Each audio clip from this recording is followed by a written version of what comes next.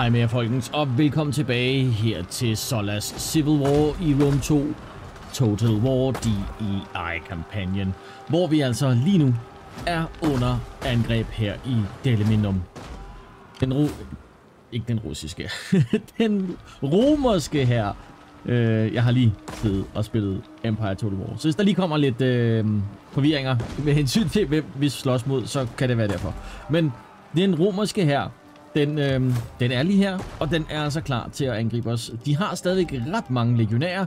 Heldigvis har vi fået nakket de fleste af deres heste og nogle af deres mercenaries, men de har altså stadigvæk rimelig mange tropper. Ja, jeg har også masser af legionærer, men de fleste af vores legionærer, det er enten de her øh, voluntaries, som altså ikke er helt lige så gode som vores egne. Og så er de her næsten lige så gode, næsten lige så dårlige. Det må I selv om, men øh, de er der i hvert fald, de her reformed cohorts. Vi var også hernede, og ja, vi fik altså taget hele Syracuse sidste gang. Og øh, jeg ved ikke helt, om vi går ned og tager... Øh, satan og helvede. De har hele Afrika. Okay, så det er derfor, de har så mange penge. Hmm. Det skal vi lige overveje. Øh, jeg troede faktisk, at min plan var i den her tur her, at jeg vil øh, tage Solas her, når den er blevet reinforced. Og så vil jeg faktisk sejle op, og så vil jeg angribe Rom fra vandet af. Nu må vi se, om det bliver tilfældet, om det er det, vi faktisk kan gøre.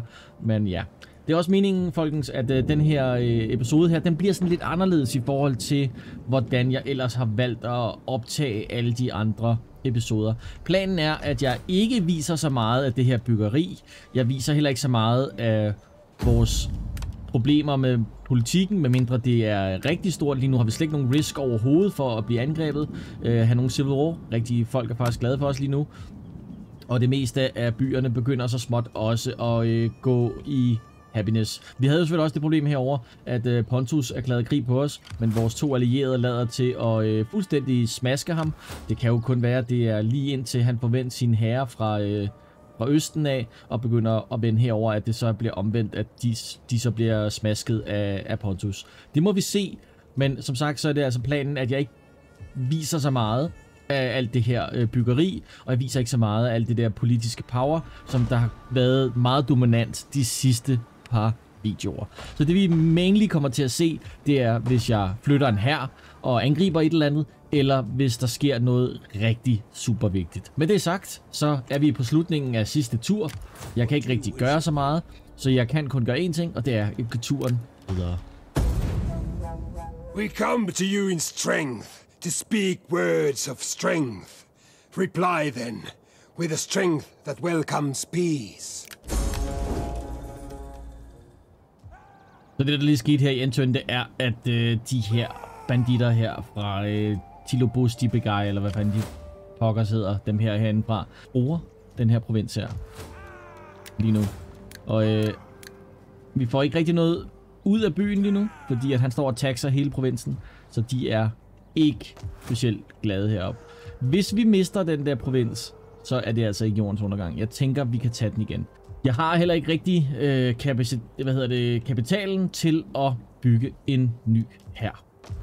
Det første vi skal gøre, det er, at vi selvfølgelig skal lige lade Sola stå lidt endnu. Øh, han har en tur, cirka to ture, til det meste af hans her er replenished. Ja, så vi må bare lade ham stå der. Men det vi altså skal nu, folkens, det er, at vi skal op og redde vores by her. Og forhåbentlig vinde mod de her romerske legioner. Quick save. Og angreb. Han er åbenbart bange for os, i det han stikker af fra os. Okay, det havde jeg så ikke regnet med. Men det er selvfølgelig fordi, at... Okay, han mente ikke, vi kunne vinde. Hmm. Skal jeg bare rykke frem? we hunger for battle. Det er det, jeg ikke rigtig ved, om jeg skal. Commander, Fordi jeg tror ikke, vi er stærke nok. Jeg tror simpelthen ikke, vi er stærke nok til at tage dem. Selvom vi har. Jo, måske. Så det vi gør er, jeg rykker derop. You have further orders? At your command. Så gør du, At det er du. service. Spreading Hvad er deres ammunition? Det gjorde du selvfølgelig ikke. Og så angriber du. Okay, vi kan faktisk auto-resolve den her. Nej, jeg tænker, selvfølgelig skal vi kæmpe den, folkens. Men auto-resolve den er virkelig... Jeg har virkelig lyst til at autoresolve den. Men det tror jeg ikke, vi skal. Jeg tror, vi kæmper den.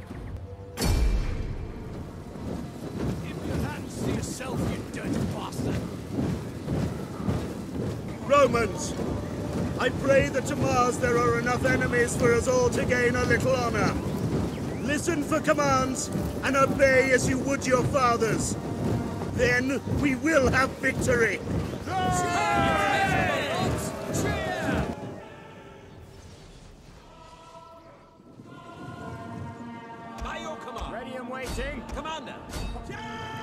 Så noget af det nye her på den her måde, vi redigerer videoer på, jamen der tænker jeg faktisk, at øh, jeg ikke vil tale under combatten. I fik bare lov til at se, hvordan det foregår. Det ender faktisk med, at det her slag her, det kommer til at gå rigtig meget i vores favor. Det vil se lige her, når kampen den fortsætter.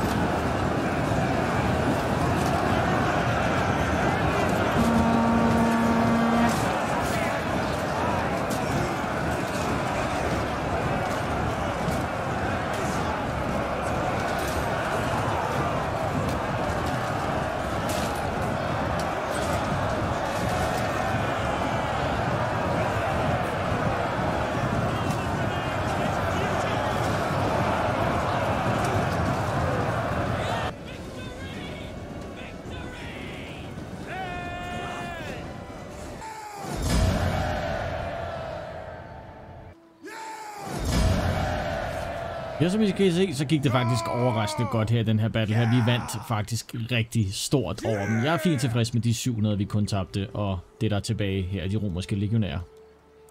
Selvfølgelig så øh, releaser vi dem, fordi at øh, det får vi altså flest penge ud af, og det er altså også vores brødre på en eller anden måde her. Vi kæmper jo mod italienere, så det var heller ikke unormalt, at dem, der overlevede kampen i de her Solar Civil Wars her, eller i hvert fald de her Civil Wars, at øh, hvis de overlevede, jamen øh, så fik de lov at overgive sig, og så fik de lov til at øh, altså joine den anden side, hvis de bliver overtalt til det.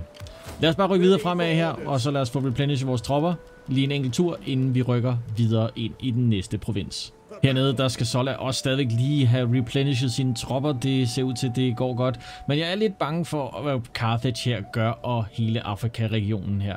Det er ikke til at vide, om de har en her stående dernede. Men det går nok alt sammen. Men jeg er sådan lidt i tvivl om, om vi skal begynde at rekruttere en her mere her i nærheden af Rom. Og det tror jeg altså bare, vi ender med at gøre.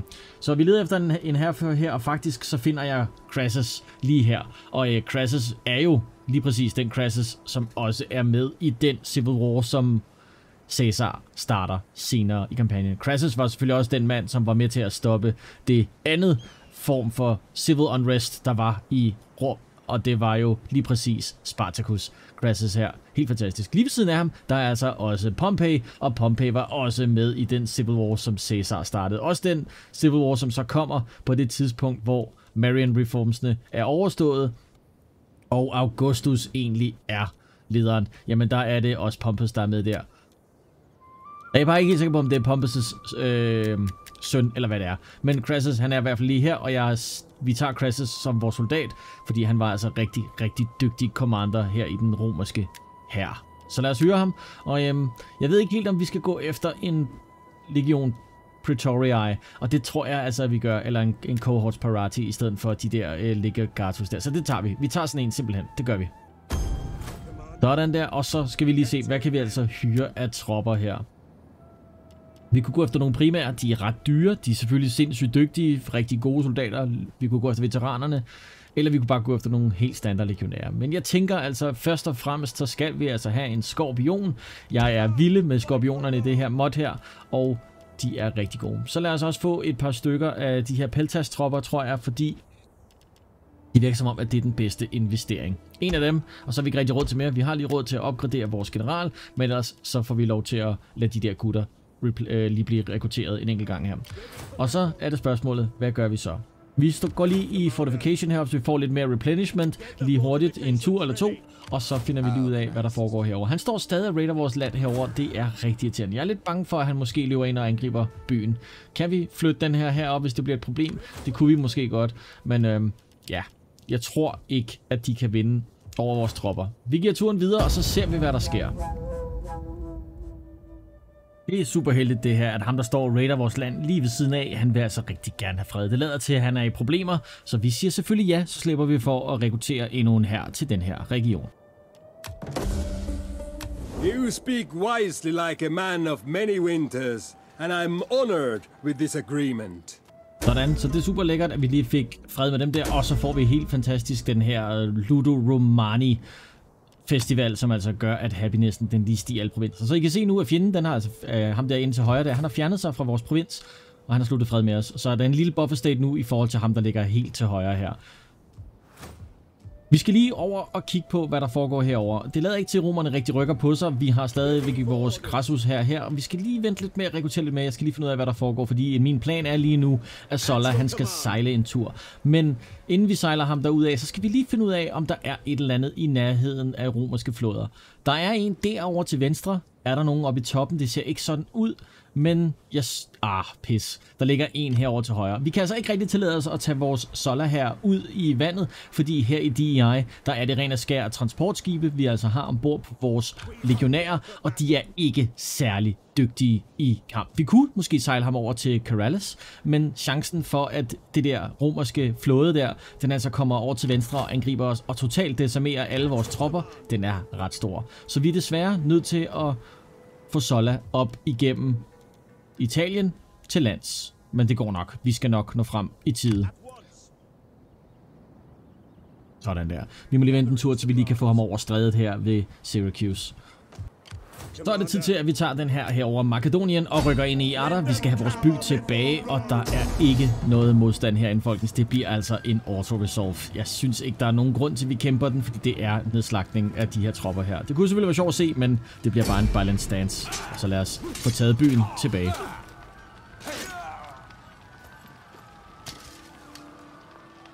Sådan der. Så kunne vi selvfølgelig tage byen, og lad os bare beholde den. Der er ingen grund til noget. Øh, vi kunne godt have raided den eller noget, men det er vores egen provins, og det vil være dumt, fordi vi har hele provinsen, så der er ingen grund til at sætte civil unrest i det hele. Han har stadig de to tropper heroppe i toppen af den her provins, øh, men han kan ikke rigtig gøre sådan noget med de to armies. Han fik i hvert fald replenish dem rigtig hurtigt. Øh, det synes jeg var lidt nederen i forhold til, at han ikke havde nogen tropper før, men sådan er det. Så vi bliver lige stående på tur eller to her i provinsen i Arda, og så rykker vi selvfølgelig hele vejen op til Pavatium, og så rykker vi ind op fra toppen af. Så laver vi et pincer move fra begge sider, når Sola han kommer op igennem øh, Italien her. Godt, turen er gået, og øh, vi har igen fået movement tilbage her fra Iada-provinsen, hvor øh, vores Makedonien-legion øh, står. Lad os bare rykke op til grænsen og stå der lige en tur og replenish. Lad os gå ned til Sola, og lad os tage ham op igennem Constantinia, op igennem foden her, af, eller støvlen af Italien, som den også bliver kaldt, som jeg har sagt flere gange. Det kalder man den. Øh, fordi at Italien ligner en støvle. Men vi gør klar, og vi skal lige finde ud af, om vi kan komme igennem her, fordi at vi har jo problemet med Samnites'ene, at de ligger altså imellem os. Men lad os lige rekruttere nogle tropper. Lad os se, hvad er der egentlig råd til. Vi har vores skorpion, vi har en enkelt legion, og vi har de der øh, paltasts. Men jeg ved ikke rigtigt, om vi skal rekruttere noget mere. Vores legionærer herovre i Arsania eller over i, øh, herover i Asia har også stået stille rigtig længe. Men jeg tænker, vi løber op og prøver at se, om vi ikke kan lave lidt ballade, fordi vi har altså en allieret lige i nærheden, der måske kan komme ned og hjælpe os. Så lad os besiege dem, og så lad os bare gå i gang med at bygge noget siege equipment her. Mm. Uh, lad os få en enkelt battering ram og lad os få nogle siege ladders. Det er lige meget. Lad os bare bygge en hel masse. Jeg ikke, vi kan ikke vinde over dem her, men det går meget spændende at se, hvis øh, de her gutter altså, de kommer ud, og vi får hjælp af vores allierede her. Så lad os lige se, om vi kan forhandle os til et eller andet her hos Sam Knights'ne. Men jeg prøver faktisk at få en hel masse handel igennem her. Jeg prøver at give dem military access, jeg prøver at give dem penge, jeg prøver at give dem peace, jeg prøver at give dem fred, jeg prøver at give dem alt muligt. Men Sam Knightsene vil ikke have noget som helst af det, jeg har at tilbyde. De vil bare være deres egen lille stat midt inde i Italien. Så det ender nok med, at vi, kommer ned, vi bliver nødt til at trespasse ind over deres territorium og måske gøre dem en lille smule sure. Men de er sindssygt ligeglade med, hvad end jeg tilbyder dem. Så lader det til, at Rom prøver at indtage en by hernede i Syracuse.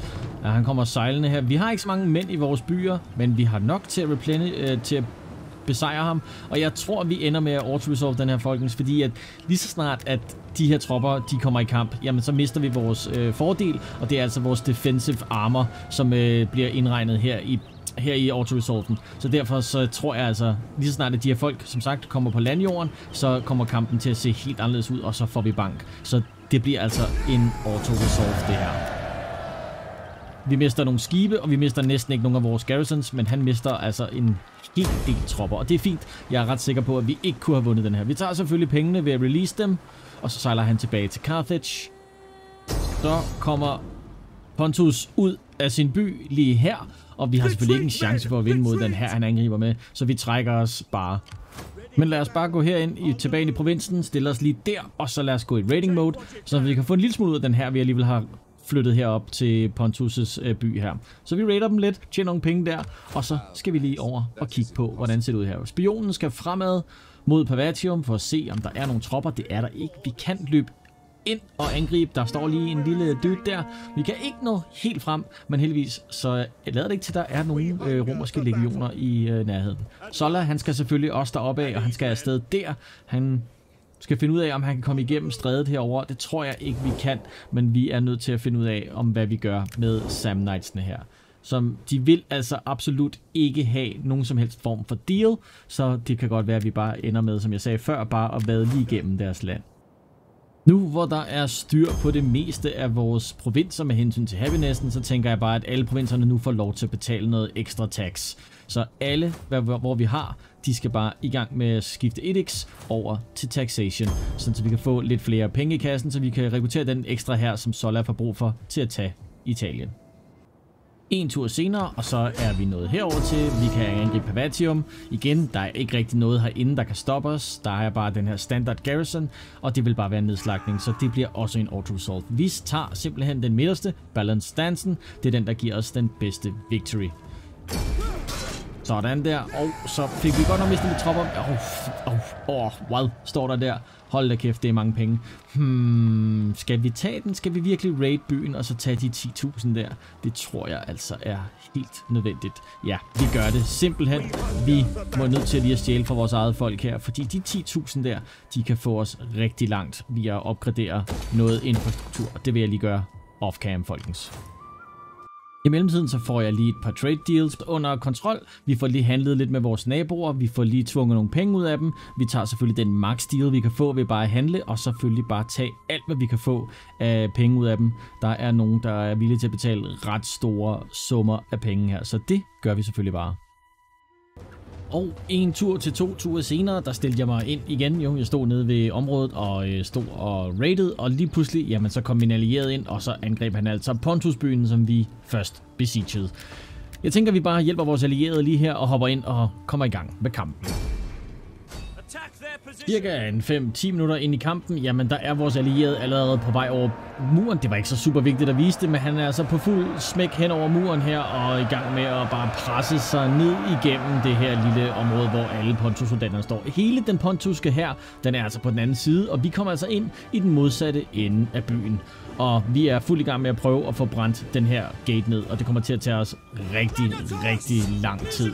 Det er kun vores kavalerister, der kan brænde gaten ned, så vores legionærer, de står bare til studio og tager så meget af det ild, der kommer fra tårnene. Cirka 10 minutter senere, ja, 10 minutter, det tog det altså for os at få sat ild til den her, på grund af at det regnede. Ja, og næsten en en gruppe af legionærer helt døde, der øh, fik vi altså så endelig kommet igennem den her gate her. Den er fuldt i gang nu med at brænde ned, og lige så snart den er åben, jamen så stormer vi ind igennem. Sådan der, så er gaten nede. Vores generaler skal igennem, eller vores legionære kavaleri og vores general skal igennem så hurtigt som muligt. Tager hesten selvfølgelig skade på. Der er olie, der falder ned i hovedet på os, men fordi at hesten er hurtigst, så skal vi altså bare ind og conteste det her gatehouse, sådan så vi ikke bliver ved med at få olie ned i hovedet. Det næste, der følger efter, det er selvfølgelig vores legionære i Testudo. Vi trækker lige den her øh, regiment tilbage, fordi de har næsten mistet alle 200 mand, der altså var i det regiment der. Men lad os bare få tropperne ind igennem. De kan gå ind igennem med deres Testudo og tage lidt mindre skade end normalt.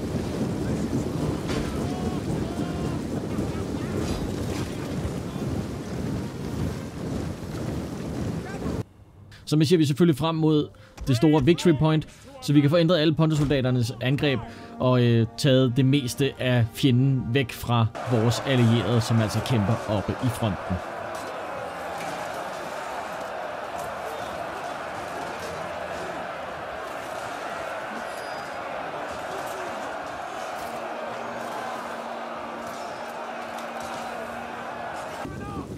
Selvfølgelig så vil fjenden ikke bare se til, når vi bare tog hans punkter, så derfor så kommer han flyvende nu med hans general, som er sådan et medium shock carry. Vores cohort primer står klar til at tage imod ham, og lige her der bliver de rushet ind i. Heldigvis så er cohorts primaden så stor en unit, så de tager ikke så meget skade. Vi hiver fat i pilagerne, og så bliver der ellers kastet ind over legionærer det hele. Det er lige meget. Vi skal bare have kastet så mange pilager i hovedet på dem som overhovedet muligt, og det må vi sige, det fik vi også gået. Vi fik ramt lidt af vores egne, men vi fik i hvert fald også taget en 20 stykker ud af hans kavalerister.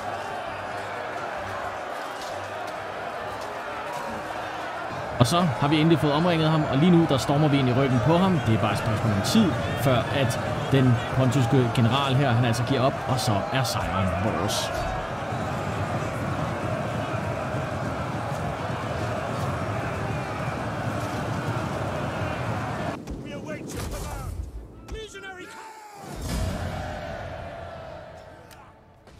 Sådan der, så fik vi vundet selvfølgelig. Ja, vi ender med at øh, trykke release på den knap her, simpelthen fordi, at jeg mangler pengene. Øh, og det er simpelthen er den årsag kun derfor. Og så Presidicia her, de vil øh, rigtig gerne have fred. De ligger lige her imellem, og jeg synes, at det er fint nok, så vores øh, allierede de kan fokusere sig på at angribe Pontus frem for ham. Så lad os bare sige ja til det. Vi står der, og vi holder lige øje med, hvad var det egentlig? Hvorfor har de ikke taget byen? Det er simpelthen, fordi de har super, øh, de har lootet den, eller de har raised den, de har raided den, og øh, derfor så står vi bare der, og vi gør det. Jeg prøver lidt at se, om jeg kan få lov til at løse sneak ind og angribe den, men øh, faktisk så står han stadig besieger den. Han står besieger den med den der lille bitte, bitte, bitte her, der kun er to enheder i. Så vi må se, hvad der sker i næste tur med hensyn til den. Så har vi fået bygget lidt op her i, i Crassus' her, og øh, vi skal have kigget lidt på, om vi kan hyre lidt flere soldater. Jeg overvejer lidt, om vi skal købe nogle levier, men det ender med, at jeg faktisk bare lader være, og så øh, venter vi lidt med det, og så hyrer vi nogle øh, helt normale legionærer. Vi har jo sådan set allerede placeret Sola midt inde i Samnites landet, men vi løber op, og så angriber vi Akalum, så vi kan få taget den. Igen en auto-resolve. Der er ikke rigtig noget derinde, der kan stoppe os. Det er bare den her standard garrison, som vi alligevel bare vil løbe over. Øh, vi skal nok tage en battle næste gang får vi lidt flere af dem, hvor vi angriber en by og sådan noget. Det er lidt længe siden vi har fået dem, men jeg synes bare, at de bliver hurtigt kedelige, fordi det er basically bare det samme, der sker. Jeg løber ind et sted, og jeg løber hen et andet sted og omringer dem. Og igen, 15.000 her.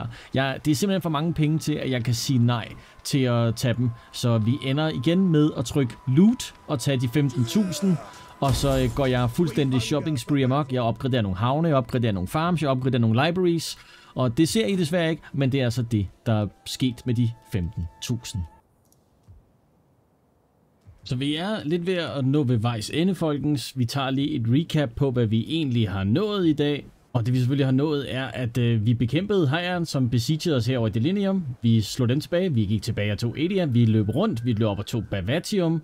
Så løb vi, kom vi jo hernede fra Sicilien, hvor vi også blev angrebet af den her flådebattle, som vi bekæmpede. Og så tog vi jo selvfølgelig Sola og gik op igennem støvlen, op til Cosentia, og han står nu over he- helt oppe her ved siden af Rom. Så spørgsmålet er, om nu vi kommer til at lave en pincer move fra Pavatium og inden for Solas, men jeg lægger altså også mærke til, at Rom har rigtig mange provinser herover. Og det lader altså faktisk til, at øh, den her, det her røde Rom her, Marion her, de har også helt herned til Tingis. Og det går ud, så går jeg ud fra, at de altså ejer hele Afrika og det meste af Hispania. Og det ser sådan ud, de har altså rigtig, rigtig, rigtig meget land stadigvæk, og det kan jo være, at alle de der legioner, som vi egentlig skal frygte, de altså kæmper herover i Hispania, altså over i Spanien. Og lige pludselig så vender de mod snotten mod øh, Rom, når vi begynder for alvor at tro det italienske kontinent.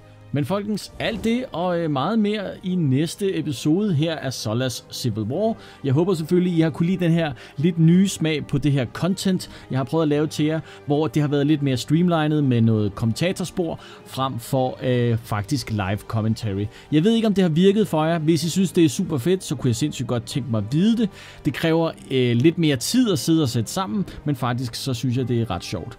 Om det så også fortsætter det, jamen det er op til jer selvfølgelig. Hop til kommentarfeltet og fortæl mig, om I synes, øh, det var en federe måde at lave videoerne på, her hvor vi prøvede at gøre lidt nyt og lidt spændende og lidt sjovt. Folkens, med det så er der selvfølgelig kun de sidste ting tilbage at sige. Det er, husk at like videoen, husk at subscribe, husk der selvfølgelig er masser af andet content lige her på kanalen. Jeg er tilbage igen samtidig samme sted. Indtil da, folkens, så ses vi. Ha' det helt fantastisk. Hej hej.